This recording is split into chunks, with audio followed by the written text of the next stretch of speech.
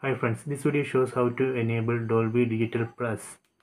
So select settings, then select display and sounds, then select audio, then select surround sound. Right now it's best available.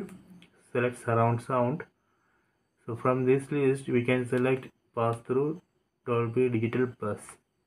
Select it, then select OK so now I have enabled pass-through Dolby Digital Plus.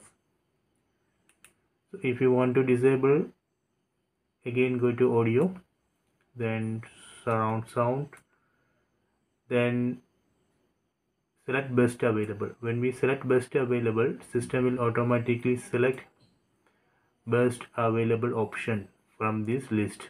PCM or Dolby Digital Plus or Dolby Digital so please try it